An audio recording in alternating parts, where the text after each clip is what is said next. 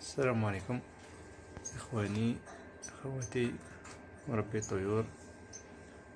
اليوم كان عندنا مشكل هو إصابة طائر الحسون بإمساك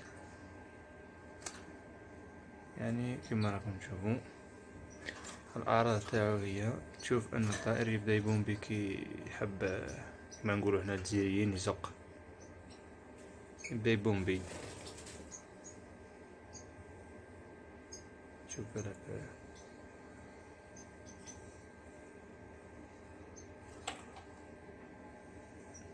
كذلك تشوف يعني لو كان تنسف المخرج تاعو تشوف خط أخضر ولا أبيض.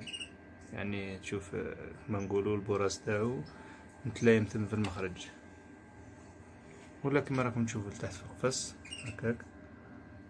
تاعو يكون ماشي كيما العادة يكون قطع صغيرة هكاك. نقدم لكم برك تشوفوها مليح هكاك.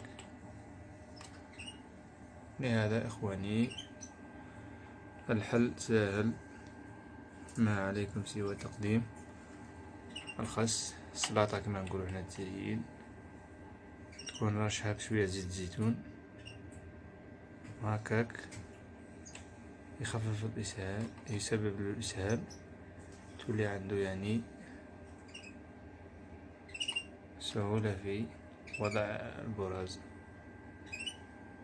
كما راكم تشوفوا هكاك. ننصح خوتي باش الأقل خطرة في السمانة ديرولو سلاطة. خطرة في الأسبوع. لا تنسوا الاشتراك بالقناة. ودعمنا. بلايك شكرا لكم.